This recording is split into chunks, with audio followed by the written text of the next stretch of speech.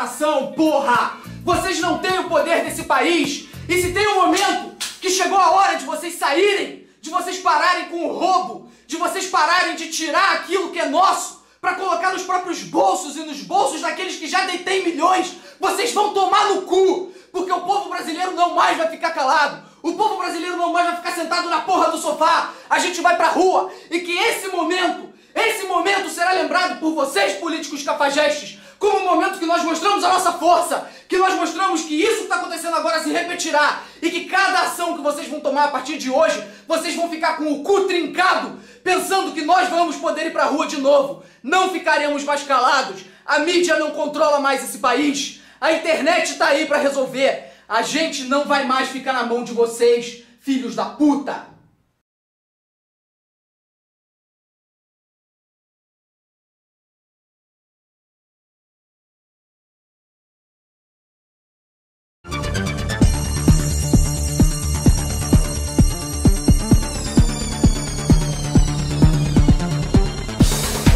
O país parou.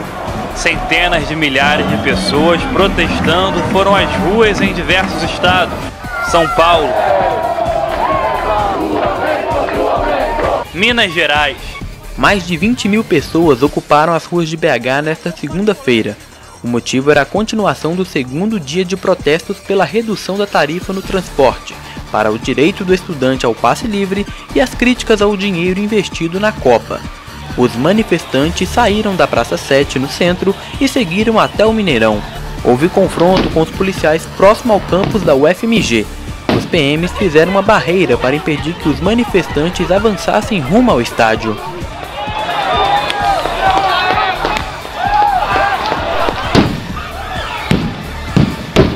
Em Brasília, os manifestantes se reuniram em frente ao Museu da República e caminharam em direção ao Congresso Nacional pelo eixo monumental.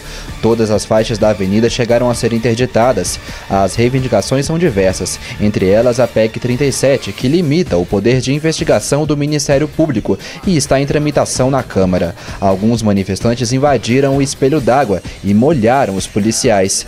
Em outro momento, eles conseguiram invadir a marquise do Congresso. Após negociação, o grupo deixou o local descendo a rampa do palácio. A Polícia Militar estimou em mais de 5 mil o número de participantes da manifestação em Brasília.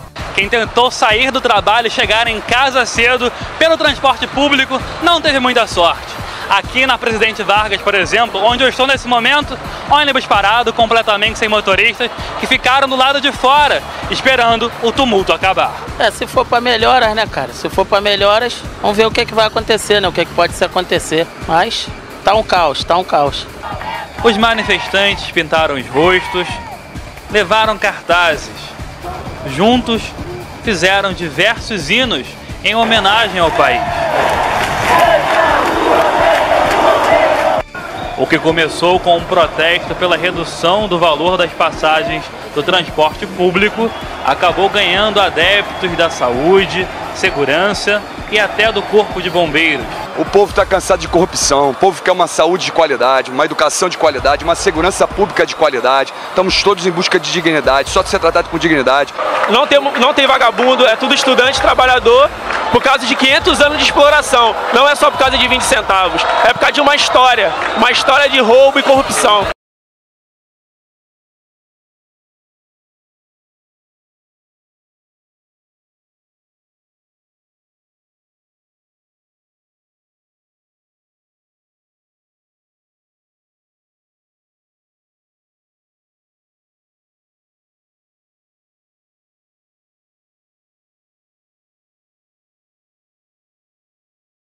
De todo mundo.